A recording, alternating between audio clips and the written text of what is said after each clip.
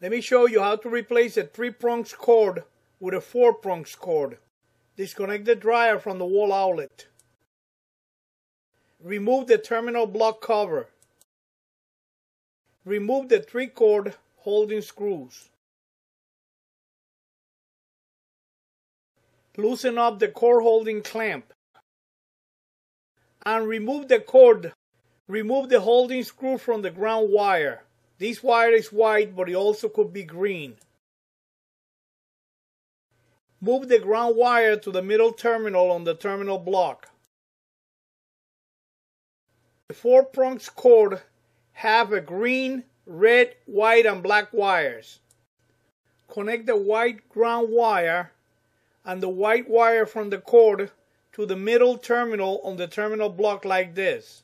Connect the red wire to the terminal on the right on the terminal block.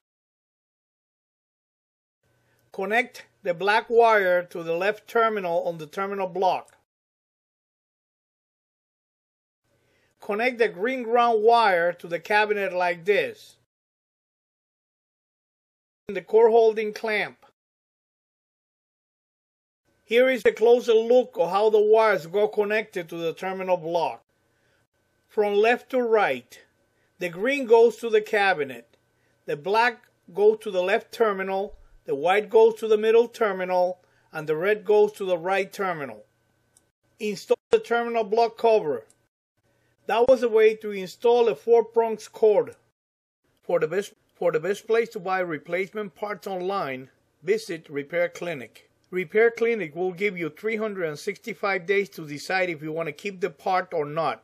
If you don't want to keep it, you could return it for a full refund or for a replacement of the part. You could check for the links to Repair Clinic on my website.